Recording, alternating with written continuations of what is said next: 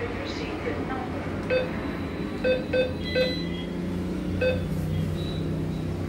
Please wait while your transaction is processed.